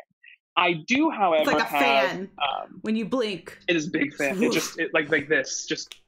um, Oh my god. I do use um this is particularly this is like this is Kiss. This came in a kit, but I kind of fell in love with it. The lash adhesive that I found that I like, um, or that I'm using right now, it actually comes out black, which is nice. Your it's adhesive? not like I clear. have a black and a white. The adhesive is black. Yeah. I love that was new for me. I loved it. And then I also have um a applicator. She's over here somewhere, specifically for um eyelashes. Like it's designed. Oh, here it is. Well, it's like a little. don't have like eyelashes. Well, it's like a little. I don't know. Can you see that? It's Yes. this, I'm just gonna try to And you can stick these on with the. And then you set, and then you just wait, and you do all of this, and pray to God it works. Um, so I do when I perform. I do do lashes just to complete everything to fill in a little bit of this space because that's an awful lot of white, which doesn't look bad. I like I said, I look like a Disney villain. That's just my aesthetic. Um, but it softens it a little bit if I do. And I mostly just do top. I've never done a bottom lash. I've Oh, never no, experimented never. with a bottom lash. I was just gonna try to stick them on with just the like out of the box adhesive, and they're coming up all over the place. So, well, God, I could tell you, use an act from from drag queen. This is to the children. mhm. Use an actual adhesive meant for lashes. There are there are ways you can cut corners. There are things that you can do that another person may look at you and be like, "Is that? Do you really want to do that?" And those things are one thing that you cannot substitute out as a lash adhesive. yeah, I have I have used other adhesives to try to do lashes, and I'm surprised I haven't. Bl- I did not blind myself. Um, also, use a nail glue to put on your acrylic nails. I I also you can use super glue. It's, it's really the same thing, but the nail glue will hold longer. Uh, I once used hot glue, and I about passed out, but we didn't have time to think about the decisions we were making. Um, so okay, Alex, dear, But- should we put on Yes, our wigs? darling. Should we put on I our do wigs? have my I do have my wig over here. Yes, I have my, wig. My wig is absolutely not on a headstand because I'm in quarantine and don't have access to it. But let's see if I can put on my wig good cap. hair on a Oh, that looks great. good hair. Yes. Uh, So let me see if I get this we'll see if I can. part right. Oh my Okay, so a lot of people do like pin curls when they put on their their wigs, or if you have longer Yes. hair, a lot of people do pin curls. I have never once seen a difference curl? in pin curls, or if I just put my hair up in a couple ponytails and just lay them flat on my head. I've never seen a difference. I think a lot of it has to do with ooh, that wig went into the eyebrow. Oh, she went real far down. Yes. I always do that. I always do that. Um, This is a wig from bobbypins.com, ladies and gentlemen. Bobbypins.com. This is where I get her. Oh, it's so beautiful. I love this hair. It is one of my favorites. It is a lace front that I Oh, spent far too much money on. Just kidding. It's good. I a good wig. whenever I good first put this wig on, it is just it's it's so voluminous Oh, that I look I like love that. I look like a mom. Like I look like a mom who has tried to, you know, gone through like a midlife crisis or something where Oh, honey, I want that color, but I don't want to have to brush my hair in the morning. So I got this cut. It's a very universal cut. And look at this. And I, uh, as a bearded queen, I love doing a. I love doing a wig where the root matches my beard color. I oh my it. god, we look great. we look so We look so cute today. Also, um, now that you're officially all very beautiful, purple and beat, um, and we've accepted you into the family. I mean, accepted. You were already Thank there, you, darling. Mama. Anyone can join. Do you want to tell the children the name you picked before we started? I have chosen a a name for the day. So my drag name for the day is Violet Tendencies. Hi, ladies and gentlemen, welcome to the stage, Violet Tendencies. Ooh, uh, I love it. Look at you. You look so good. Oh, look. Oh, God. I tell you. We I- look okay. Sorry guys, the rest of the stream is just gonna be us checking out our appearance, feeling. feeling I could all go to the us. supermarket right now. This I actually some- won't take this off. This is I Also, I feel like 80s glam. It's so cute. It's so adorable. Ah, First of all, that's the nicest this wig has ever gone on my head. I don't, Hannah. It must be because I'm doing something for it's you today, but everything day. has happened so easy. It's like, oh, you have to do your makeup in Do front of people. No do you issues. glue your wig? Alex, do you glue your Um, wig? yes, I would traditionally go through and do some spirit gum right here. Spirit Um, gum? I'll, I'll- also, if I'm doing a show, depending on like, I'm not a big like dancer queen. I'm a bit of what I think girls would call park and bark, um, where I like to stand, and the song just demands that I stand in one spot and, And I don't just- move. and you lip sync very expressionative. And I lip sync. I do a lot of lip sync. Also, my drag is kind of. I'm lightening up an eyebrow. Um, my drag is kind of turned a little bit into uh, more like I do like stand up in drag, and I do comedy lip syncs, um, and things like that. I don't do. I can't dance. I can't dance. I can't shablam. I can't do a death drop. I can't do a split. Um, but I love like making people laugh, and I do comedy and like very playing with the that. audience and doing comedy lip syncs. Um, so yeah. Ooh. Oh, that messed up everything. Um, and then I have Uh. my I have my pride, my pride crown. Oh, Happy Pride. Hello everyone. Happy Pride. Happy Pride. A Uh, sensible fan. well, this has gone. We only intended to go an hour, but look where we are. And thank you Thank you to everybody. Drag queen time. oh my goodness and you know alex i i adore you i adore you know just how um open you are and and honest in having these conversations and i'd love to um you know encourage everyone to go try out some drag today. Try something new. Uh drag is for everybody just like cosplay is for everybody. So our two worlds Yes. have, have combined today. And with the with the bangs it's covering up my horrible eye makeup. So Listen, I before we go, I used to do that. Um, so real quick, like real real story time. So um I when I first started doing drag, the eye that I did for you all in real time today is usually the eye, my right eye is what happens the easiest and it's always nice because I'm right-handed, so all of this makes sense. It's like trying to do the left side that always ends up looking rough, which is why I did it first. Mhm. Um, and you can even see right now that they don't necessarily match. But what I would do a lot when I first started drag is I would get a wig that like would cover this part of my face. so I did a lot of one eye illusion, like the bang would hang, because I'd be like, well, she's painted, but she's hideous, so we're just gonna cover it up. But they never know, match hey. and i have learned never- today that drag does not come easy even you know even though i've been doing my daily makeup forever. Drag does not come easy to me. So I've got a lot of Oh, it's so practice. It's so different. It's so, different. But it's, it's all very you stylized. yeah, and it's your own style. That's Mhm. the other thing. It's your own style. Mhm. So my last question for you is Of course. Yes. And this is just you know for fun. This isn't you know any anything serious but where do you see drag going? I mean because we have rupaul's drag race. We have you know the the bar drag. We have um drag shows. Where do you see drag going? Do you see it transforming in any way becoming even more mainstream than it is? Oh, I absolutely do. I absolutely do, and I see it. Uh, I I think it's constantly evolving because I, think what really is beautiful about drag is that it is so it is so um, specific to the individual doing the art. Um, it is so specific to your identity that your drag is not my drag. It's not this person's drag. And there was the there's the club scene and uh, there's pageant queens because like there's there's like pageant cult. I mean, it's it is already so expansive. But as more people start to discover drag and find it and uh, practice it themselves, they're just releasing their own artistic expression. I don't think there's any limit to what drag can be. Um, I mean, uh, you know, I'm there's I, I just think it's going to continue to change and just it's going to amaze the world. I think, and people are going to find so much freedom and love in it. And I think through it, they'll also find a love and appreciation for other people.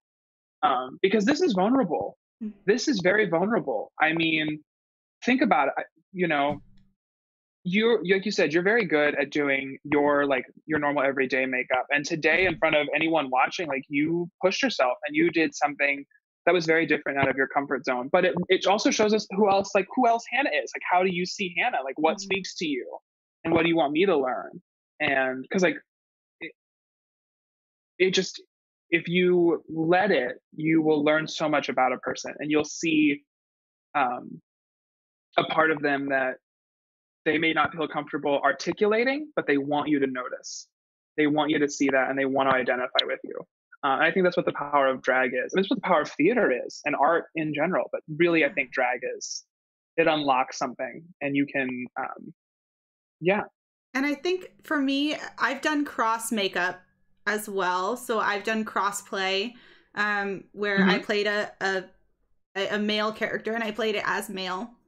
And Mhm. I mean, being a cis hetero woman for my my whole life, I think that this type of art has helped me tune into parts of my own sexuality and just the fluidity of my own sexuality because I've I've always Yeah. struggled. It's just like, okay, well, I'm female and I want to some days I want to be feminine. Some days I want to wear a flower dress, but some days, you know, I might want to wear, you know, leather. I I want to wear, you know, a leather jacket and really like hard lines and and embrace more of my masculinity. So I think that absolutely. the the embracing of the fluidity of gender and the fluidity of of masculine and feminine in these two cultures is what draws so many people to it and um yeah that's ah, it's so freeing it's so freeing and It i is. i'm gonna stay in this all day i'm feeling feel your. I, i'm feeling purple got dishes. princess today I was gonna say I got dishes to do, and if you think I'm taking this off, you are wrong. This is some Stepford wife. The husband will be home from the board meeting soon. those curls are marvelous I know. I haven't styled. I haven't styled this wig. This is how she came in the packaging, and I don't want to touch her. I haven't combed her out yet, but I'm I'm living for this. That's going to be a whole other video. We're going to learn how to style those wigs when they finally um don't they don't have that out of the bag curl anymore. I'm gonna have to watch that one because I to. am terrible with hair. I am too. This, we don't have time, but I once gave myself like third degree burns trying to style a wig. We don't. True story. Steamer Oh. steamer fell sideways, third degree burn all over my knee. I was I hate it. I still have the wig though, but I hated that. that that wig's been in hiding. Oh my gosh. Well, is there any last thing you want to say? Everyone, go watch um, the Thursday Thots on Alex's page about um, gay culture and queer culture um, and and history as well. So it was very eye opening for me. Um, Oh, is there you. anything you want to say to anyone before we say bye? Um, thank you so much. Uh, first and foremost, thank you to Hannah And thank you to King Khan for having me on today. This has been a delight, something I never thought I would do. So thank you for um, giving uh, a young gay boy in Pennsylvania just a moment to share this with you. So thank you so much. Um, for anyone out there, uh, my social media is perpetually open. Um, so if you have any questions or you need anything, um, you can find Elizabeth Hardon. She, she, has a Facebook, she has an Instagram. Um, you can find Alex Stompoly. Um, I'm out there. Please, if you have a question, reach out. Um, you you know you there are people out. Uh, uh, we are here. We're here to talk. We are here to help. Um, so yeah, and have a have a wonderful rest of your Pride Month, everyone. Like, and don't just let it be June. Be prideful all the time. Pride is every month. So Pride is every month. Well, July are. is re- yes. July is wrath. We've decided July is gay wrath. So got it. Okay. all right. Well, I'm ready. Um, and Alex, we would of course love to. I mean, I would love to see either a a virtual drag show or another drag panel, maybe a drag group panel uh, for our main event Ooh. in October. So keep an eye out. I'll, I'll probably be reaching out to you. In fact, I will I be. Love that. Um, and I'll just poach you again, and let's I do this again. That. I'm ready to go. Okay. Oh, good. Now that I got this backdrop. this curtain. Uh, well, I'm gonna play the ending video, and uh, oh, great! We'll see everyone next time. We're uh, here every Bye, two guys. weeks. We love you. Stay prideful, and uh, you know, stay safe out there. Let me see if I can pull up our end screen.